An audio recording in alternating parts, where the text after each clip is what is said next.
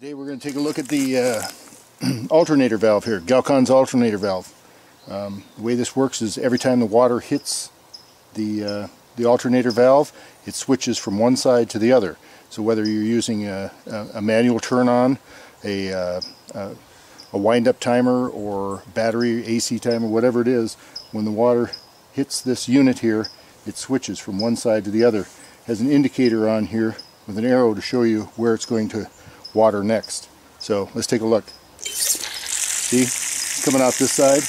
Now the arrow switched over that side to show you that that's where it's going to come out next. I turn the water off. As soon as the pressure drops,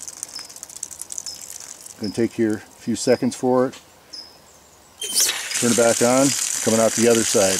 That means if you want to split your flow in your garden or in your field, you use one of these here and uh, it uh, acts like a, a second timer. So first time you set the timer or turn the water on, it's going to water this area. Second time, it's going to water the other area. Really an inexpensive way to zone a, uh, a garden.